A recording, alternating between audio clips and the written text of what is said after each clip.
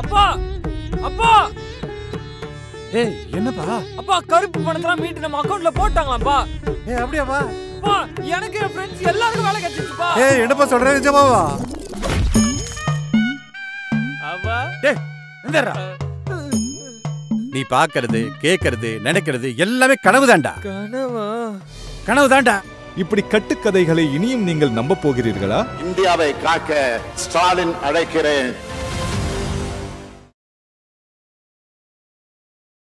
வணக்கம் இது தமிழ் குரலின் மைப்பட பேசு. இன்றைய சிறப்பு விருந்தினர் மரியாதைக்குரிய ஓய்வு பெற்ற ஐஏஎஸ் அதிகாரி அரசியல் திறனாய்வாளர் ஐயா திருமதி ஜி பாலச்சந்திரன் ஐஏஎஸ் அவர்கள். சார் வணக்கம் சார். வணக்கம் திருப்புனை வளவன் வணக்கம்.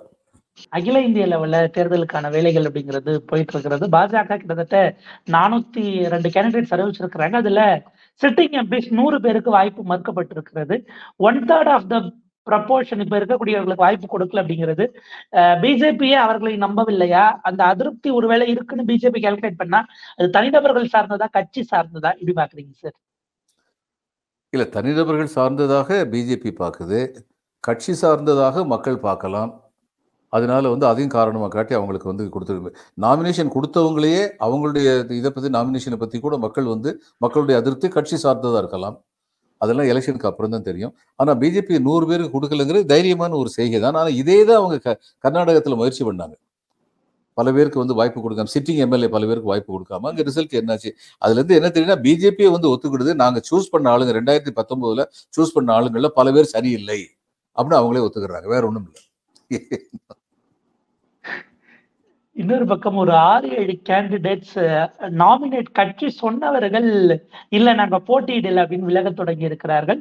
ப பதவி கொடுக்கப்படாத அல்லது எம்பி சீட் கொடுக்கப்படாதவர்களும் ஒரு ஏழு எட்டு பேர் விலகி இருக்கிறாங்க அப்படின்னும் போது அதனுடைய அப்சர்வேஷன் நம்ம எப்படி எடுத்துக்க இருக்கிறோம் அதுவும் அவங்க கிளைம் பண்ணக்கூடிய த்ரீ செவன்டி ஃபோர் ஹண்ட்ரட்னு டாலா கிளைம் பண்ணும்போது ஏன் அவங்க எடுக்கலன்னு நம்ம பார்க்க வேண்டியிருக்கு சார் அதாவது ப இது எம்பி சீட்டு போது எதிர்த்து வெளியே போகிறதுங்கிறத புரிஞ்சுக்க முடியும். அது மற்ற கட்சியெல்லாம் இருந்தது பிஜேபி வந்து ரொம்ப டிசிப்ளினாக சொல்லிட்டு இருந்தாங்க. அங்கேயே அப்படி இல்லை அப்படிங்கிறது வந்து இப்போ தெரியுது. நாமினேஷன் கொடுத்ததுக்கப்புறம் விலகி போகிறாங்க அப்படின்னா எனக்கு அது குஜராத்தில் நடந்திருக்கு. அதனால எனக்கு உள்காரணங்கள் தெரியல.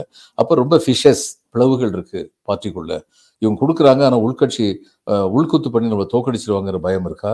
அல்லது நாமினேஷன் கொடுத்துட்டு இவ்வளவு செலவழின்னு சொல்லுவாங்க அந்த செலவழிக்கிறதுக்கான பலம் நம்மகிட்ட இல்லைன்னு இருக்கா? என்ன காரணம் எனக்கு அல்லது நிச்சயமா எதிர்க்கட்சி ஜெயிக்கிற இடத்துல எனக்கு கொடுத்துருக்காங்க நான் பணம் செலவழிச்சு எதுக்கு தோக்கணும் அப்படின்னு நினைக்கிறாங்களா?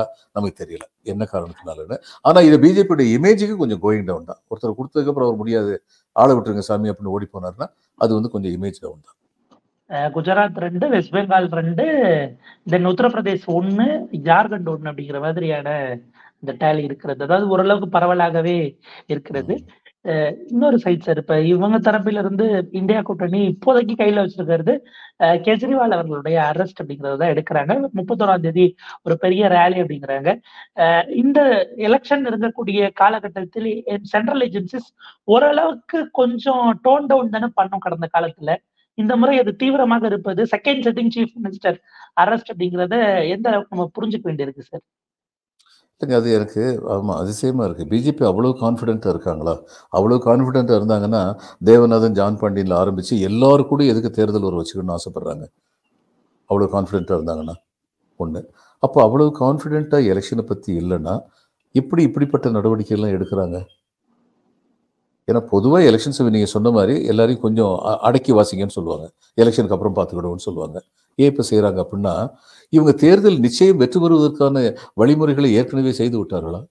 மக்களுடைய எதிர்ப்பத்தை பற்றி எனக்கு கவலை இல்லை. எப்படி நான் ஜெயிச்சிருவேன்னு பயமாக இருக்குது உண்மையிலேயே பயமாக இருக்குது பேக் டு பேக் அதாவது தலைவர்கள் அரசு நம்ம கவிதா கேசியாரே மாடல் கோட் ஆஃப் கண்டக்ட் பிறகுதான் கைதாகிறாங்க அப்படிங்கிற மாதிரி இருக்கு. இப்ப கெஜ்ரிவால் அப்படின்னா அவர் உள்ள இருந்துகிட்டே நான் ஆட்சி செய்வேன் அப்படிங்கிறது அது பிராக்டிக்கலா பாசிபிள் அது விதண்டாவாதமா ஒரு அரசியல்ங்கிற மாதிரி தானே இருக்கும். அதாவது. பண்ண முடியும். பண்ண முடியும். அது கோர்ட்ல இருந்து அவர் அனுமதி வாங்க முடியும். நான் நினைக்கிறேன் உச்சநீதிமன்றத்தில் அநேகமாக அவருக்கு பெயில் கிடைக்கும். அதாவது பெயிலுக்கு காரணம் என்ன சொல்லப்படுது? சரியான காரணம். அவர் மேல உள்ள வழக்கை நீங்கள் தொடர்ந்து நடத்துங்கள். அவர் சாட்சியங்களை கலைத்து விடுவார் என்று சொல்லாதீர்கள். ஒன்றரை வருஷமா சொல்லிட்டு இருக்கீங்க கெஜ்ரிவாலை கூப்பிடுறோம் கூப்பிடுறோம்னு சாட்சியத்தை கலைக்கணும்னு ஆசைப்பட்டாருன்னா அந்நியாரமே அவர் கலைச்சிருக்கலாம். ஆனால் சாட்சியங்களை கலைத்து விடுவார் என்று இன்று சொல்வது பொருந்தாது. ஆனால் இன்று அவரை உள்ளே வைத்திருப்பது என்பது ஒரு ஜனநாயகத்திற்கு எதிரான ஒன்று. ஒரு ஜனநாயகத்தில் எதிர்க்கட்சி தலைவருக்கு பிரச்சாரம் பண்ணுவதற்கான போதிய அவகாசம் இருக்க வேண்டும். எலெக்ஷன் முடிஞ்ச உடனே அவர் மறுபடியும் நீங்கள் பெயிலை கேன்சல் அப்படி கொடுக்கலாம். கண்டிஷனல் பெயில் கூட கொடுக்கலாம். தேர்தல் முடிஞ்ச உடனே நீங்கள் வந்து the electoral process once it is completed அதுக்கப்புறம் தேவையான நடவடிக்கை எடுத்துக்கங்க. அப்படின்னு சொல்லி ஜாமீன் கொடுத்தா அது ரொம்ப மேன்மையானதாக இருக்கும். சரியானதாக இருக்கும். பார்ப்போம். திரு. சந்திரசூட் அதிக நம்பிக்கையூட்டும் விதமாக சமீப காலத்தில் நடந்திருக்கிறார். இதுல அந்த உச்சநீதிமன்றம் என்ன செய்யுதுன்னு பார்ப்போம். ஏன்னா இடையில ஒரு முறை கோர்ட்ல இருந்து ஆஜராவதற்காக அவர் நம்பிக்கை கோரும் தீர்மானம் கொண்டு வந்து ஒரு எக்ஸெப்ஷன் வாங்கினாரு ஆன்லைன்ல. ஆஜராகி அங்க செஷன்ஸ் கோர்ட்ல அவர் அந்த வேலைகளை செய்தார். அஹ் அவருடைய விருப்பம் என்னன்னா ஒரு முறை நம்பிக்கை கோரும் தீர்மானம் கொண்டு வந்தா ஆறு மாசத்துக்கு அடுத்தது கொண்டு வர முடியாது. அப்படிங்கிற லெவலுக்கு அவர் கேல்குலேட்டிவாக இருந்தும் கைது செய்யப்பட்டிருக்கிறார் அப்படிங்கறத தான் நம்ம பார்க்கிறோம். சார் இப்ப இந்த விஷயத்த ஏன்னா எலக்ட்ரல் பாண்ட் பண்றது ரொம்ப டெக்னிக்கல் ஆனது. மக்கள்கிட்ட கொண்டு போய் சேர்க்கறதுல பிரச்சனைகள் இருக்கலாம். பட் ஏஜென்சி சென்ட்ரல் ஏஜென்சிஸ் அந்த தருணம் பார்த்து பழி வாங்குவது ஒயிட் நவ் அப்படிங்கிறத மக்கள்கிட்ட எடுபடுமா? எந்த அளவுக்கு கொண்டு போகணும்னு பாக்குறீங்க? அதாவது எப்போ எடுக்கணும்னா இந்த கேஸே வந்து உதாரணமாக இவங்க என்ன சொல்ல வர்றாங்க இந்த கேஸ் அடிப்படை என்ன? மதுபான கொள்கையில் வந்து சில மாறுதல்கள் ஏற்படுத்தினாங்க. அதில் சில பேருக்கு நன்மை அடைஞ்சுறாங்க. அதனால வந்து இது வந்து ஊழல்னு சொல்கிறாங்க இப்போ இந்த எலக்ட்ரல் பாண்டு விஷயத்தை வந்து இவங்க எடுத்துகிட்டு போனாங்க. இது ஊழல்னு சொன்னால் நீங்கள் வந்து ஈடியை அனுப்புறீங்க அடுத்து பத்தாவது நாள் வந்து டொனேஷன் கொடுக்குறாங்க. இது ரெண்டுக்கும் லிங்க் இல்லையா? நீங்க நடத்துற பயங்கரவாதத்துல ஒருத்தர் எழுதியிருந்தாரு அதை இன்னும் கொஞ்சம் டீட்டெயில்ஸ் கால்குலேட் பண்ணும் இருபது லட்சம் கோடி அளவுக்கான திட்டங்கள் அலாட் பண்ணப்பட்டிருக்கிறது. ப்ராஜெக்ட் அலாட் பண்ணப்பட்டிருக்கிறது. இப்படிப்பட்ட டொனேஷன் கொடுத்ததுக்கு அப்புறம் அப்படின்னு சொல்லி சொல்றாங்களே அப்ப இது ஊழல் இல்லையா? இப்ப இது நீங்க கெஜ்ரிவால் செய்யறது ஊழல்னு சொன்னீங்கன்னா இது அதை விட பெரிய ஊழலே. அப்ப இதுக்கெல்லாம் நீங்க உங்க ஆளுங்களை உள்ள வைக்கல. அப்ப கெஜ்ரிவாலை மட்டும் எதுக்காக நீங்க வந்து இது பண்றீங்க? ஒண்ணும் இல்ல நீங்க ஜெயிக்கணுங்கிறதுக்காக அவங்கள வந்து இந்த நேரத்துக்கு சைலன்ஸ் பண்ணணுங்கிறதுக்காக பண்றீங்க. அப்படிங்கிற அளவுக்கு எடுத்துட்டு போனா இது ஜெயிக்கும் மத்த கட்சிகள் அது மாதிரி எடுத்துட்டு போனா அது ஜெயிக்கும். கெஜ்ரிவாலை பொறுத்த மட்டும் அவர் சொல்லுவார் நான் தவறு செய்ய நேச்சுரலா நான் தவறு செய்யவில்லைன்னு சொல்லுவார். அதுக்கான காரணத்தை அவர் சொல்லட்டும். ஒரு மூன்று மாநிலங்கள்ல பாஜகவோட கூட்டணியில் இருந்த கட்சிகள் விலகி இருக்கிறார்கள். கூட்டணி வைக்க முடியாதுன்னு சொல்லியிருக்கிறாங்க. பஞ்சாப் சிக்கிம் அதே போல ஹரியானா அப்படிங்கிறத பார்க்கிறோம். ஹரியானால அவர்கள் விலகிய பிறகு கவர்மெண்ட் சேஞ்சே அதாவது அவங்க தான் சிஎம் மாத்திக்கிட்டாங்க வேற சிஎம் போட்டும் பிஜேபி கவர்மெண்ட்டை ஃபார்ம் பண்ணிட்டாங்க எம்எல்ஏக்களை இழுத்துங்கிறத பார்க்கிறோம். இவங்க கிளைம் பண்ணக்கூடிய இந்த டால் லெவல்ல ஒரு இது இலக்கு வச்சா இவங்க. சார் ஹரியானால ஜேஜேபி வெளியே போயிடுச்சு அங்க இருந்து அஞ்சு எம்எல்ஏக்களை இவங்க போஸ்ட் பண்ணிட்டாங்க. பட் அந்த மூணு விஷயங்களை தாண்டி ரெண்டு நார்த் ஈஸ்ட் ஸ்டேட்ல நாங்க கண்டெஸ்ட் பண்ணல. அதாவது பிஜேபி சொல்லுது லோக்கல் ஃபோர்ஸஸை நம்ம எம்பவர் பண்ணணும்? அப்படின்னு பிஜேபி மேகாலயாவும் நாகாலாந்து சொல்றாங்க. அப்படின்னும் பொழுது அவங்களுக்கே பேக்கெட் பேஸ்டாக நம்ம ஃபோக்கஸ் பண்ணிக்கலாங்கிற இடத்துக்கு வராங்களா? அதாவது மணிப்பூருக்கு அப்புறம் பிஜேபி தன்னுடைய கேண்டிடேட்டை எங்கே போனாலும் நார்த் ஈஸ்டில் போட்டாலும் அவங்க மண்ணை கவிடுவாங்க அதில் பிஜேபிக்கும் சந்தேகம் இல்லை மக்களுக்கும் சந்தேகம் இல்லை அதனால் அடுத்து வந்து இப்படி மாதிரி இந்த மாய்மாலம் பண்ணி தங்களுக்கு விருப்பமான ஆட்களை தேர்ந்தெடுக்க வச்சு தங்களுடைய சப்போர்ட்டை என்ஷூர் பண்ணுறதுக்கான முயற்சியில் வந்து அவங்க ஈடுபடுவாங்க. அவங்களுக்கு ஒன்று தெரியலைன்னா தெரியலைன்னு நான் நினைக்கிறேன். அவங்க தான் கவர்மெண்ட் ஃபார்ம் பண்ணுறாங்கன்னா நார்த் ஈஸ்டில் உள்ள ரீஜனல் பார்ட்டி உடனடியாக அந்த கவர்மெண்ட் யார் ஃபார்ம் பண்ணுறாங்களோ அவங்களுக்கு சப்போர்ட் பண்ணிடுவாங்க. ஏன்னா அவங்கள சின்ன மாநிலங்கள் பெரும்பாலும் சென்ட்ரல் கவர்மெண்ட் கிராண்ட்ல வாழ்ந்துகிட்டு இருக்கோம். பெரும்பான்மையான ஃபண்டு அவங்களுக்கு சென்ட்ரல் கவர்மெண்ட் கிராண்ட்ல இருந்தால் வருது. அதனால அவங்களை எலினேட் பண்ண முடியாது அவங்களால அப்படின்னு சொல்லியிருப்பாங்க. ஆனால் இவங்களுடைய உண்மையான அஜெண்டா என்னன்னா இந்த வெறுமனே இந்த எலெக்ஷன் முடிஞ்சு சப்போர்ட் வாங்குறது மட்டும் இல்லை அங்கேயும் கொண்டு போய் இந்துத்துவாவை எப்படி கொண்டு போகிறதுங்கிறத இவங்களுடைய உண்மையான அஜெண்டா அதுக்கு இவங்களுடைய ஆட்களே இருந்தால் தான் அது பிரயோஜனமாக இருக்கும் அப்படின்னு சொல்லி பார்க்குறாங்க. ஃபெனட்டிக்கலி பிலீவிங் பீப்புள் இருந்தால் தான் நார்த் ஈஸ்ட் மாதிரியான மாநிலங்களில் இவங்களுடைய அஜெண்டா வந்து கொண்டு போக முடியும். இப்போதைக்கு அந்த அஜெண்டாவை கொண்டு போக முடியும்னு எனக்கு தோணலை. ஒன்று பஞ்சாப்ல வந்து இவங்க எப்படி அகாலிதள் வந்து இவங்களோட சேருவாங்க? விவசாயிகளை நடத்தின விதத்தை பார்த்ததுக்கு அப்புறம் உள்ள விவசாயிகள் பல குடும்பங்கள்ல ஒருத்தன் வந்து விவசாயியா இருப்பான். இன்னொருத்தன் வந்து இந்த எக்ஸ்போர்ட் பிஸ்னஸ் பண்ணுறவனாக இருப்பான். மூணாவது ஆள் ராணுவத்துல இருப்பான். இப்படி ராணுவத்துக்குன்னு சொல்லி தங்களுடைய மக்களை வந்து திரும்ப திரும்ப கொடுத்துக்கிட்டு இருக்க ஒரு மாநிலத்தில் உள்ள விவசாயிகள் போராட்டம் நடத்தும்போது தேச துரோக சட்டத்தில் அவங்க மேலே வழக்கு போட்டாங்கன்னா இதை விட கொடுமை எதுவுமே இருக்க முடியாது. அடுத்து பல பேருக்கு தெரியாத ஒரு விஷயம். ஆயிரத்தி தொள்ளாயிரத்தி அறுபத்தஞ்சிலையும் எழுபத்தொன்னுலையும் இந்த பஞ்சாப் மாநிலத்தில் ஏழை எளிய குடும்பங்கள் பார்டரில் இருப்பாங்கல்ல அந்த குடும்பங்கத்தில் உள்ள பெண்கள் வந்து சப்பாத்தி சுட்டு சப்பாத்திக்கு சப்ஜியும் சுட்டு தலையில் வச்சுக்கிட்டு போய் நம்முடைய எல்லைப்புறத்தில் இருந்த நம்முடைய ராணுவ வீரர்களுக்கு கொடுத்தாங்க. இதை விட என்ன தேசபக்தி வேணும்? இதெல்லாம் கேவலம் இல்லையா? இவங்க மேலே இப்படி தேச விரோத வழக்கு போட்டது. கீழ்த்தரமான செயல். இப்படி இருக்கும்போது எப்படி அகாலிதள் இவங்களும் சேர முடியும்? சேர முடியாது. இவங்க தான் சூழ்நிலையை உருவாக்குனாங்க. அதே மாதிரி ஹரியானாவை பொறுத்த மட்டும் யோகேந்திர யாதவ் வந்து கொஞ்ச நாளைக்கு முன்னாடி சொல்லி இன்னைக்கு எலெக்ஷன் வச்சா ஹரியானால இவங்க பிஜேபி மண்ணை கவிடுவாங்கன்னு சொல்லியிருந்தார். அந்த அச்சம் வந்து இவங்க கூட இருந்தவங்களுக்கு இருக்கும். அவங்க கூட சேர்ந்து நானும் எதுக்கு மண்ணக்கணும் அவங்க விளையிட்டாங்க இதில் வந்து ஒரிசாவில் வந்து இவங்க என்ன சொன்னாங்க? அவர் இவர் ரெடியாக இருந்தார் பட்நாயக் வந்து. ஏன்னா இருபது வருஷத்துக்கு மேலே ஆள்றாரு. கொஞ்சம் ஆன்டி இன்கம்பன்சி கண்டிப்பாக இருக்கும். அப்போ இவங்களையும் கூட்டு வச்சுக்கிறது ரெடியாக இருந்தாங்க. ஆனால் அவங்க என்ன கேட்டாங்க? போன தடவை அவங்க நூறு சீட்டுக்கு மேலே வின் பண்ணியிருந்தாங்க சட்டமன்றத்தில். அப்போ அவர் கேட்ட பிஜேடிக்கு வந்து கேட்டாங்க பிஜேபிகிட்ட எங்களுக்கு நூறு சீட்டு கண்டெஸ்ட் பண்ணுறது கொடுங்க. அந்த நூறு சீட்டு கொடுக்குறதுக்கு இவங்க ரெடியாக இல்லை. அப்போ அதுக்கு என்ன அர்த்தம்? அங்கே வந்து இன்னொரு நிதிஷ்குமார் உருவாக்கணும்னு அர்த்தம். நம்ம கட்டுப்பாட்டில் வச்சிருப்போம் இவரை அடுத்து கவுத்து விட்டுருவோம். அது அது கூட தெரியாதவரா இருப்பாரு. அவருக்கே அது தெரியும். அது அவருக்கு வந்து ஒரு பெரிய தோன்றா துணை. பாண்டியன்னு சொல்லி இங்கிருந்து போன ஒரு ஐஏஎஸ் அதிகாரி இப்ப ரிசைன் பண்ணிட்டாரு. அவருடைய பிரைவேட் செக்ரட்டரியா இருந்தாரு. அப்பொழுக்கற்ற நேர்மை இல்லாத நேர்மை உள்ள ஒரு அதிகாரி. நே ரொம்ப ரொம்ப நேர்மையான அதிகாரின்னு பேர் எடுத்தவர். திறமையான நிர்வாகியின் பேர் எடுத்தவர். அவர் மேல வந்து இவருக்கு ரொம்ப நம்பிக்கை இருந்தது. அது தவிர தன்னுடைய கட்சிக்காரர்கள். தன்னுடைய கட்சிக்காக சுயநலம் இல்லாமல் இருக்கின்ற கட்சிக்காரர்கள் இருக்காங்க. இவங்க எல்லாரும் சேர்ந்து சொல்லிட்டாங்க இது லாயக்கப்படாது இவர் கூட வந்து நம்ம வச்சுக்க வேண்டாம் அப்படின்னு சொல்லி சொல்லிட்டாங்க. அதனால பிஜேடி அவங்க கூட உறவு இல்லைன்னு சொல்லிட்டாங்க. ஆனால் மறுபடியும் சொல்கிறேன் அவங்க இண்டிபெண்டா வென்று ஜெயிச்சதுக்கு அப்புறமும் லார்ஜஸ்ட் பார்ட்டியாக பிஜேபி இருந்ததுன்னா அவங்க சப்போர்ட் பண்ணுவாங்க. ஏன்னா அவர் பட்னாய்க்கு வந்து எம்ஜிஆர் ஃபார்முலா தான். யார் நான் இதில் மத்தியில் ஆட்சியில் இருக்காங்களோ அவங்க கூட விரோதிக்க கூடாது. அவங்களுக்கு அனுசரணையாக போயிடும்னு நினைக்கிறவர். ஆனால் அதே சமயம் அது இன்னொரு எம்ஜிஆர் ஃபார்முலா நான் பலமாக இருந்துக்கிட்டு தான் அடுத்தவன்ட்ட நான் பேசுவேன் நெகோஷியேட் பண்ணுவேன். எங்களுக்கு ஐஏஎஸ்எல் நுழையும் போது சொல்லுவாங்க இந்த அரசியல் கட்சிகள் சில சமயம் கிளர்ச்சியில் ஈடுபடும். இந்த கிளர்ச்சியில் ஈடுபடும்போது நம்ம வந்து நெகோசியேஷன் கூப்பிடுவோம். ரொம்ப சுருக்கமாக ஒன்று சொல்லுவாங்க you can negotiate only from a point of strength வலிமை உன் பக்கம் வைத்துக் கொண்டுதான் நீ சமரச முயற்சிகளில் ஈடுபட வேண்டும். இல்லைன்னா உன்னைய கவுத்து விட்டுருவாங்க.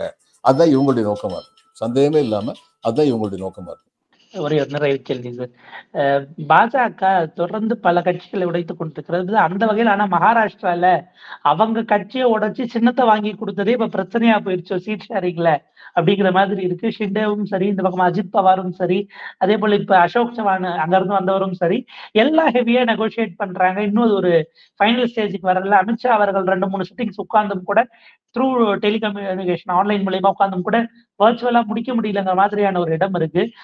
இவங்களே உடச்சி சின்னத்தை வாங்கி கொடுத்தது இப்ப பிரச்சனையா போயிடுச்சோ. நிறைவா எப்படி பாக்குறீங்க? எல்லாமே தனக்கு சாதகமா வர்ற வரைக்கும் அங்க அந்த சிவசேனாவும் இவங்களும் அஜித் குரூப்பும் வந்து வெயிட் பண்ணிட்டு இருந்தாங்க. எல்லாம் வந்ததுக்கு அப்புறம் பிஜேபி கேட்க இப்ப நீ என்ன செய்ய முடியும்? ஒழுங்கா நான் கேட்கறது கொடுங்கிறாங்க. இவங்க எப்படி சமாளிக்கிறாங்கன்னு பார்ப்போம் ஒரு பக்கம் பாஜகவினர் நாங்க புகழ்பெற்ற வேட்பாளர்கள் அதாவது பிரபலமானவர்கள் எல்லாம் உள்ள கூப்பிட்டு வராங்க அப்படிங்கிறத அவங்க கிளைம் பண்ணிக்கிறாங்க.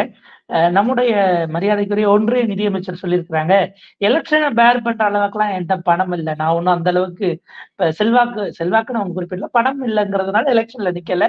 என்னை வந்து தமிழ்நாடு ஒரு ஆந்திரால கண்டெஸ்ட் பண்ண சொன்னாங்க அப்படின்னு பேசியிருக்கிறாங்க. நம்ம அதை எப்படி பாத்துக்க வேண்டியது சார் அப்ப எலெக்ஷன் ஒரு காஸ்ட்லி அஃபேர்ங்கிற லெவலுக்கு அவங்க வந்துட்டாங்களா? இல்லை எலெக்ஷன் காஸ்ட்லி அஃபேருங்கிறது எல்லாருக்கும் தெரியும்.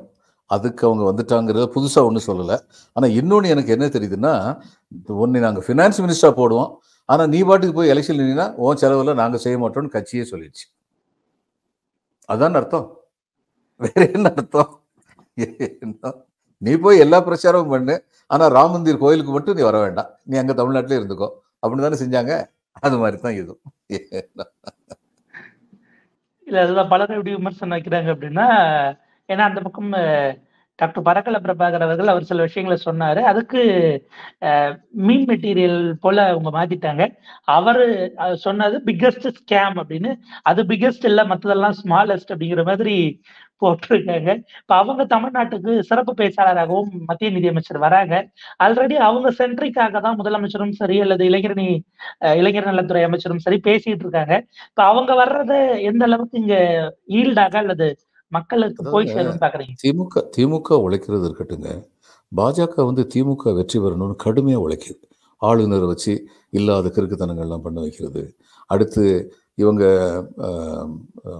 நிர்மலா சீதாராமன் இதுல வந்து திமுக என்ன செஞ்சு இந்த அரசு ஒண்ணுமே செய்யல வெள்ளத்து சமயத்துலன்னு சொல்லி சொன்னவங்க. அதுக்கப்புறம் தேவையே இல்லாம கோயிலுக்கு போனீங்கன்னா தட்டுல போடுங்க அர்ச்சகர் தட்டுல போடுங்க காசை. எதுக்கு உண்டியல போடுங்கன்னு சொல்லி கேட்டவங்க. இப்படிப்பட்டவங்களை இங்க அனுப்பி வச்சாங்கன்னா அதெல்லாம் திமுகவுக்கு துணை புரிகிறது தானே அதனால இப்ப இவர் தான் சொல்லணும் இபிஎஸ் தான் சொல்லணும்.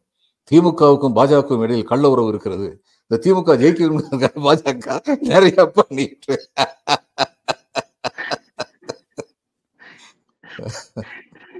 ஆல்ரெடி அந்த திமுக ஒரு இப்பதான் ஸ்லோவா வர ஆரம்பிக்கிறார் அவர் பாஜகவை அஃபன் பண்ணல. அதுதான் எப்படி பொலிட்டிக்கல் நெரட்டிவ் செட் ஆகுதுன்னா நீங்க பாஜக கூட இருக்கீங்க அப்படிங்கிறது தமிழ்நாட்டு அரசியலுக்கு ஒவ்வாத விஷயம்னு ரெண்டு பேரும் மாத்தி மாத்தி பழி போடுறாங்களோ? திமுக அதிமுக சொல்லக்கூடிய இடத்துக்கு வந்துட்டாங்க. மக்களுக்கு மக்களுக்கு உண்மை தெரியும். இவங்களுக்கு இந்தியாவிலேயே பாஜகவுக்கு உள்ள மிகப்பெரிய விரோதி வந்து திமுக தான். ஏன்னா கொள்கை ரீதியாக இவர்கள் கூறுகின்ற ஒரு கொள்கையை மறுதலித்து உறுதியாக நிக்கிற கட்சி திமுக தான். திமுக கட்சிட்டு வந்து ஆயிரம் குறை எந்த கட்சியில குறை இல்லை அந்த கட்சியுடைய குறைகளை பற்றி விமர்சிக்கிறதுக்கு நம்ம எல்லாருக்கும் உரிமை இருக்கு. ஆனால் நம்ம எல்லோருக்கும் இன்னொரு உரிமையும் இருக்கிறது. மிகப்பெரிய உரிமை இருக்கிறது. நம்முடைய பர்த் ரைட் நாம் அனைவரும் ப- பிறவியல் ஒப்பானவர்கள் அப்படிங்கிற பர்த் ரைட் நமக்கு இருக்கு. அதை எதிர்த்து நிற்கிறவங்களை எதிர்த்து நிற்கிறது திமுக. அதனால திமுக வந்து இவங்களுக்கு பாஜகவுக்கு சித்தாந்த ரீதியான மிகப்பெரிய விரோதி இந்தியாவிலேயே திமுக தான். ஏன்னா எல்லா கட்சிக்குள்ளேயும் வந்து ஹிந்துத்துவ ஆட்கள் இருக்காங்க. எல்லா கட்சியிலையும். அந்த ஹிந்துத்துவ ஆட்களை கட்சியுடைய தலைமை வந்து ரொம்ப கண்டிக்கலை. ரொம்ப கண்டிச்சா சரி நமக்கு வந்து எலெக்ஷன்ல இடைஞ்சல் வருமோன்னு நினைக்கிறாங்க. இந்த ஒரு கட்சி தான் ஹிந்துத்துவாவுடைய தீமைகளை பற்றி வெளிப்படையாக பேசுகிறது. அந்த தீமைகள் இந்த நாட்டிற்கு ஆபத்தானவை என்று உறுதியாக நம்புகிறது. அதனால இவங்க தான் ரியல் எனிமி நம்பர் ஒன் பிஜேபிக்கு வந்து திமுக தான். அதனால திமுகவுக்கும் பிஜேபிக்கும் உறவுன்னு யார் சொன்னாலும் யாரும் நம்ப மாட்டாங்க. அவங்க கூட இந்த- இது administratively they will they will keep good relations மாநில அரசும் ஒன்றிய அரசும் சண்டை போட முடியாது. அதனால அவங்க கூட அட்மினிஸ்ட்ரேட்டிவ்லி நிர்வாக பிரதமர் வந்தாருன்னா அவர் போய் வரவேற்க வேண்டிய கடமை முதல்வருக்கு இருக்கு. ஆளுநராக ஒருவர் நியமிக்கப்பட்டார் என்றால் அவரை போய் வரவேற்கிற கடமை முதல்வருக்கு இருக்கு. அதெல்லாம் சரியா செய்வாங்க. ஆனா சித்தாந்தத்துல இருந்து ஒண்ணா போக மாட்டாங்க சித்தாந்த ரீதியாக திராவிட கட்சி நீதி கட்சியில ஆரம்பிச்சு காமராஜர் இவர் ஓமந்தூர் ரெட்டியார் இவங்க எல்லாரும் கண்டினியூ பண்ணி டிஎம்கே ஏடிஎம்கே எல்லாம் வந்து கண்டினியூ பண்ணாங்களே. அது வந்து நாம் இருக்கும் நாடு நமது என்பதறிந்தோம். இது நமக்கே உரிமையாம் என்பதறிந்தோம் அப்படிங்கிற கொள்கை அடிப்படை. ஆனா இவங்க சொல்றாங்களே பிஜேபியுடைய பாலிசி இருக்கு பாருங்க பணக்காரர்களை மேலும் பணக்காரர்களாக்குவோம் அப்படிங்கிற மாதிரி கொள்கை வச்சிருக்காங்களே. ஏழைகள் எளியவர்கள் எப்ப எக்கேடு கேட்டால் எங்களுக்கு என்ன? முதலை கண்ணீர் மட்டும்தான் வடிப்போம் அப்படிங்கிற கொள்கை உள்ளவர்களாக தோற்றமளிக்கிறாங்களே இவங்களோட ஒப்பிடும்போது திமுக இன்னைக்கு நடக்கிற எலெக்ஷன் வந்து நான் வந்து என்னுடைய நண்பர் ஒருத்தர் அரசியல் தீவிரமான ஒரு நண்பர். அவர் வந்து எங்கிட்ட கேட்டு சொன்னேன் ஒரு குழும குழுமம் ஒரு ஃப்ரண்ட்டு தோத்து இன்னொரு ஃப்ரண்ட் வர்றது அல்லது ஒரு ஃப்ரண்ட்டு ஜெயிச்சுக்கிட்டு இருக்க ஃப்ரண்ட் இன்னும் தொடர்ந்து வர்றது அப்படிங்கிற சாதாரண ஜனநாயக நடைமுறை அல்ல. இந்த நாட்டின் ஜனநாயகம் காக்கப்பட வேண்டுமா? அல்லது இந்த நாட்டில் சர்வாதிகாரம் முழுக்க முழுக்க நுழைந்து விட வேண்டுமா? அப்படிங்கிறத தீர்மானிக்கிற தேர்தல். அவ்வளவு முக்கியமான தேர்தலில் வந்து ஓரளவுக்கு விவரம் தெரிஞ்சவங்க ஆன்டி பிஜேபியை தான் இருப்பாங்க. அந்த ஆன்டி பிஜேபின்னு போனால் என் ஓட்டு வீணாக கூடாதுன்னு நினைக்கிறவங்க பிஜேபிக்கு எதிரான ஃப்ரண்ட்டுக்கு தான் ஓட்டு போடணும்னு நினைப்பாங்க. சிம்பிள் கால்குலேஷன் இது தவிர வேற சொல்றதுக்கு என்ன இருக்கு? கண்டிப்பாக சார். ஒரு விரிவான உரையாடல் தேர்தல் சார்ந்த விஷயங்கள் இது வந்து வெறுமனே ரெண்டு ஃப்ரண்ட்டுக்கான தேர்தல் அல்ல. ஒட்டுமொத்தமாக அஹ், இந்தியாவினுடைய அந்த ஐடியா ஆஃப் இந்தியா என்பதை தாண்டி இந்தியாவினுடைய டெமோக்ராட்டிக் வேல்யூஸ் அதற்கான அது எப்படி இதற்கப்புறம் இருக்க போகிறது என்பதை முடிவு செய்யக்கூடிய தேர்தல் அப்படின்னுட்டு ஒரு ஆழமான அழுத்தமான பார்வை. உங்களுடைய தொடர் பணிகளுக்கு மத்தியில் இணைந்து விரிவாகவும் செறிவாகவும் ஒரு உரையாடல் உங்களுடைய நேரத்துக்கும் கருத்துக்களுக்கும் ரொம்ப நன்றி சார். வணக்கம் புன்னைவளவன் வணக்கம்.